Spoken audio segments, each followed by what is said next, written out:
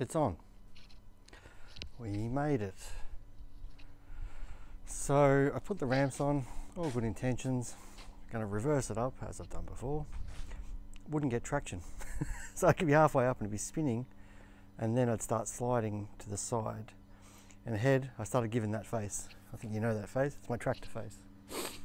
So what I had to do was, well I thought I needed a winch, which I pretty much did, but what I did was what they tell you not to do with straps, and that is use them as a winch.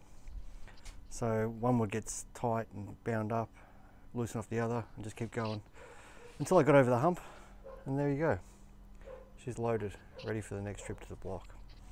I don't think I'll be using the Prado for it. I just used the Prado because the tow bar was there, but um, yeah. All right, that's uh, today's highlight. Enjoy the rest of your day.